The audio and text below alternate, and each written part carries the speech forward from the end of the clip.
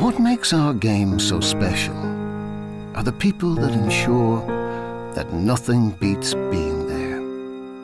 From those who mark the pitch to those that collect the gate. From those that get the grounds ready to those that get the stars ready. From the man in the middle to the ones at his side. From those calling the shots to those taking them. From the first timers to the old timers. From the proud fathers to the prouder mothers. From the flag wavers to the finger biters. From the surreal to the sublime. From those that always remembered rivalries, but never forgot respect.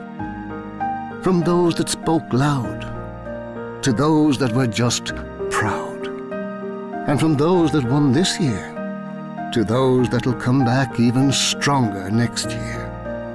You are the reason that nothing beat being there. So thank you from the GAA.